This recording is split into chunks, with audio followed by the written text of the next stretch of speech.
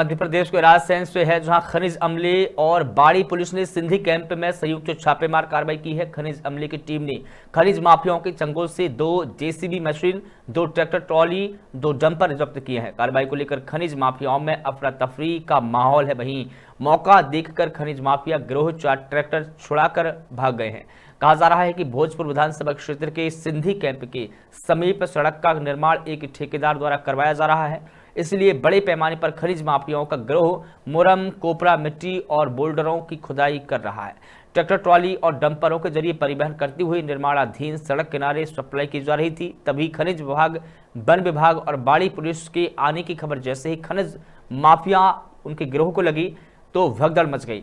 रायसेन से नरेंद्र राय की रिपोर्ट।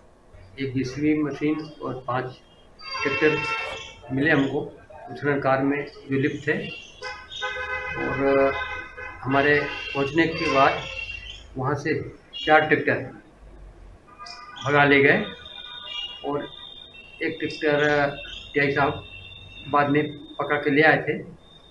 तो एक ट्रैक्टर और एक जीसी मशीन, वो थाने में खड़ा किया गया है। उनके खिलाफ अवैध रूप से मिट्टी उत्खनन का प्रकरण बनाया गया है। प्रकरण को कलेक्टर कोर्ट में प्रस्तुत किया जाएगा।